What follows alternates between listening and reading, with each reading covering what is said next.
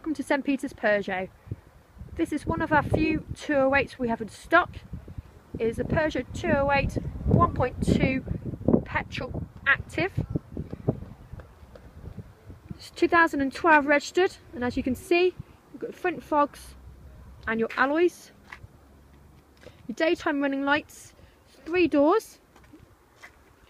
As I go around to the boot, you've got the claw effect rear lamps. Open the boot. You have a 60-40 split.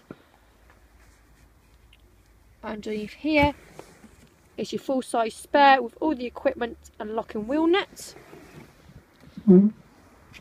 As I go around through, have a look inside.